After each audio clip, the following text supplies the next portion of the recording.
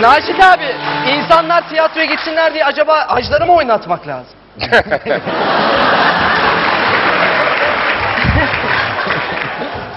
Ajdar kardeşimiz şarkı söylüyor. O orada daha iyi. Aynen herkes kendi yerinde memnun Evet. zaten. Yavrum Aslında ilk başlangıcım e, Üsküdar Belediyesi'nin 75. yıl e, kültür merkezi var. Ünalan'da, Soyağın orada.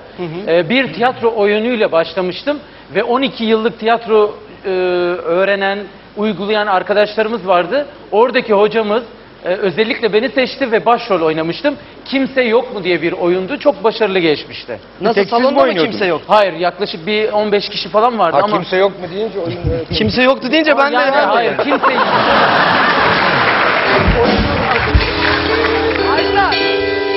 Sen oynuyorsan kimsenin olmaması çok doğal.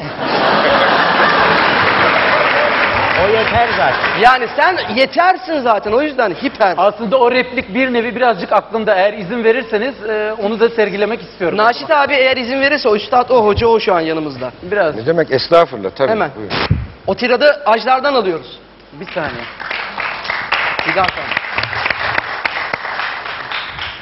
Bir dakika ya. Hamlet mi oynayacaksın abi?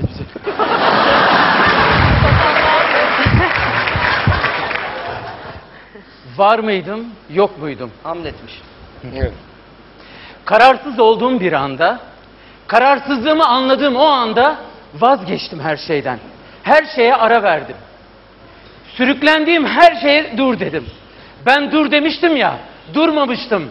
Farklı rüzgarlar, seller, fırtınalar, hatta durgun havalarda dahi hep sürüklenmiştim. Kim koymuştu bunları cebime?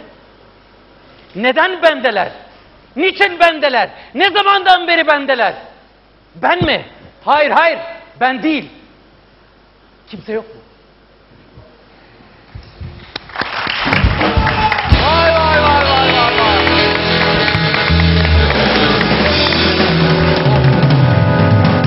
Evet bu da oldu.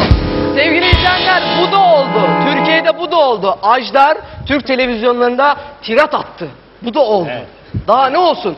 Başka nasıl bir sanat akımı olabilir yani? Başka nasıl bir enerji olabilir yani? Ee, Sözü geçti oynadım. Bugün O zaman bakın Ajda 8 da yıldır bizim- televizyonlara çıkıyordum. Hiçbir yerde söz konusu olmadı.